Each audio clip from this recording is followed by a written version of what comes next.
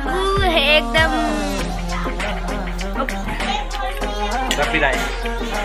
हम अकिंग हमारे जैसे कौन है तुम? ये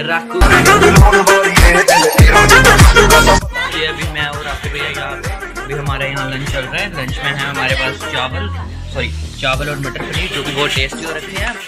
ये मेरा भाई है और ये भी मेरा बड़ा भाई है और राकू है। और जो अभी मैं इन्हीं के फ़ोन में ब्लॉग कर रहा हूँ तो गाइस अगर आपको ये ब्लॉग पसंद है चैनल को सब्सक्राइब और वीडियो को लाइक करके वीडियो को शेयर कर दो। तो तब तक के लिए बाय गाइस बंद क्यों सॉरी गाइस ये वीडियो बंद नहीं हो गया। अब हो जाएगी।